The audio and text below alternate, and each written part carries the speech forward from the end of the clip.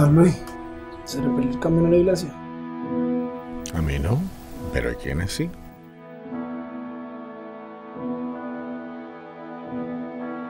Cuéntame, Javier, ¿cómo has estado?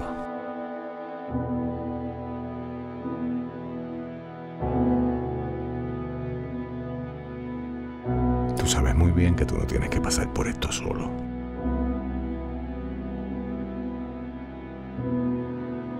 No pierdas tu tiempo, Luis.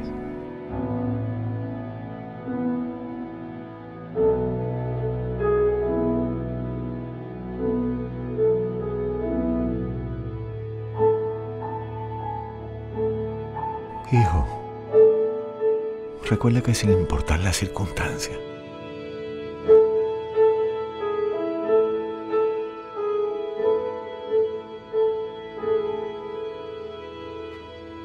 te sigue amando.